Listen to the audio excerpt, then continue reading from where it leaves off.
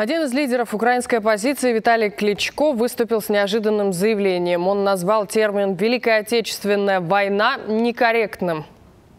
Политик призвал использовать вместо него другое понятие – Вторая мировая война. На этот шаг, по мнению Кличко, необходимо пойти, чтобы отказаться от стереотипов советского прошлого. Это позволит приблизиться к европейскому мировоззрению, так считает бывший спортсмен – Виталий Кличко – лидер партии «Удар» и активный сторонник евроинтеграции. Он неоднократно выступал с возмутительными комментариями. Так он просил оправдать солдат украинской повстанческой армии. Заявление Кличко обсудим с лидером партии ЛДПР Владимиром Жириновским. Он выходит на прямую связь с нашей студией по телефону. Здравствуйте, Владимир Вольфович. Добрый вечер. Скажите, как вы можете прокомментировать заявление Виталия Кличко о необходимости отказаться от термина «Великая Отечественная война»? Ну, это только отрицательно можно оценить, поскольку смысл э, Вторая мировая война, она началась 1 сентября 1939 года. А вот для нас началась именно Великая Отечественная. Это можно аналогию провести с нашествием Наполеона.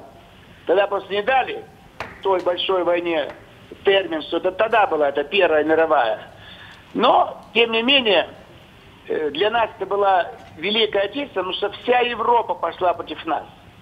Если бы мы были, э, как говорится, на равных, какие-то группы стран друг с другом бы боролись и начали бы одновременно эту войну, тогда можно было считать, что это просто Вторая мировая. А здесь именно на нас набросилась вся европейская свора, все-все страны. Там были солдаты Португалии, Франции, Швеции, Испании, Италии, Чехии, Словакии, все-все.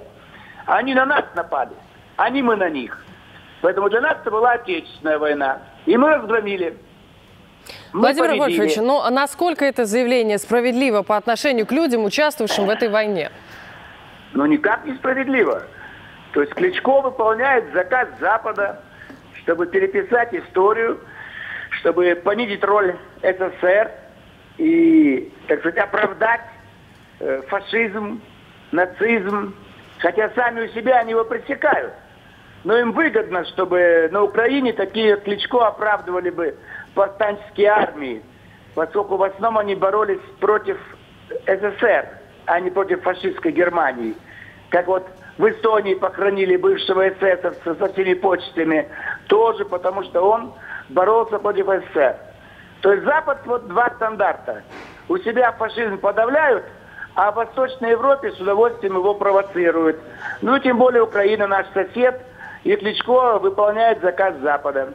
Владимир Вольфович, то есть вы считаете, что все-таки эта формальность каким-то образом повлияет на сближение Украины с Европой?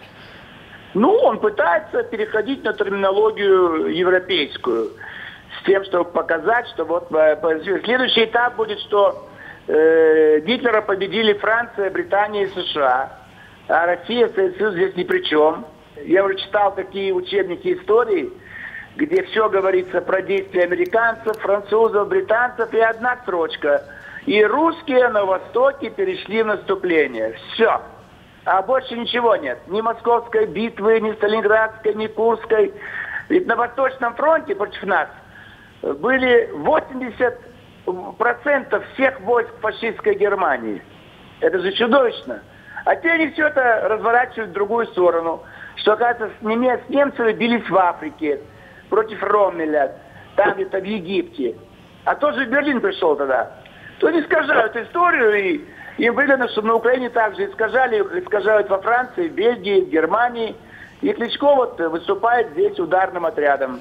Что ж, спасибо, Владимир Вольфович, Пожалуйста. за ваши комментарии. На прямую связь по телефону был лидер ЛДПР Владимир Жириновский. Мы обсуждали заявление Виталия Кличко.